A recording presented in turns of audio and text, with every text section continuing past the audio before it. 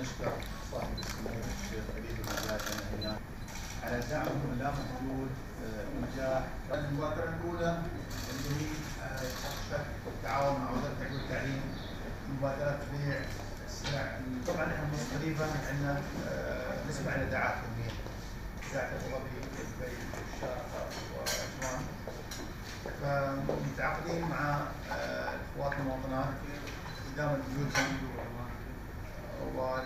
نسمع الاذاعات وفي حال وجود أي فنحن المؤسسه هي مؤسسه رائده واول مؤسسه عملت نظام العمل عن بعد. دائما ناكد عليهم اللي ياخذ حتى لو فلوس. فهاي الحمد لله هذول موظفين في كل المجالات الآن. في مجال إخواننا الواقفين في المدينة يعني مثلا في الموقع اللي هو رئيس مدينه زايد يقولون له والله إحنا هاي تبرع من عندنا.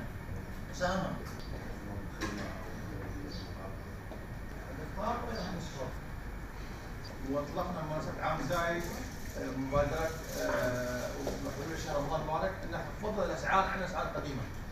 يعني أسعارنا مخفضة والآن بعد نزلنا حوالي 20% على الأسعار بالذات السلع اللي عليها اقبال كبير من المواطنين مثل أود أن أشكر صاحب السمو الشيخ خليفة بن زايد ال نهيان رئيس الله يحفظه وكذلك صاحب السمو الشيخ محمد بن زايد ال نهيان ولي العهد الله يحفظه وأيضا سمو الشيخ منصور بن زايد ال نهيان على دعمهم اللامحدود في إنجاح كافة مبادرات آه، مؤسسة خليفة بن زايد ال نهيان للأعمال الإنسانية.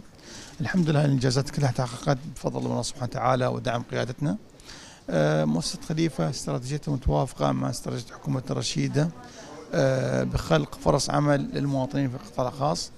أقصد ما أقصد أن نخلق لهم فرص عمل إنهم نوظفهم في القطاع الخاص وإنما نشوف لهم في أو ندخلهم في مجال التجارة، الحمد لله الآن مؤسسة خليفة بن زايد النهيان للأعمال الإنسانية تعاقدا مع الأسر المواطنة وهي الأسر الآن هي اللي تقوم بإدارة الكوفي شوب أو المطاعم أو الكافتريات الموجودة في الجهات الحكومية.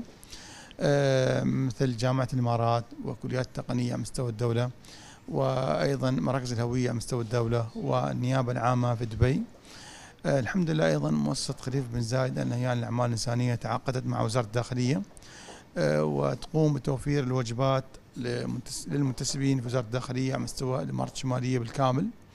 آه، يتم تقديم الوجبات من خلال الأسر المواطنة الموجودة في كل إمارة. آه، أيضا المؤسسة تقوم بتسويق للمنتجات آه، الاسر المواطنة مثل الملابس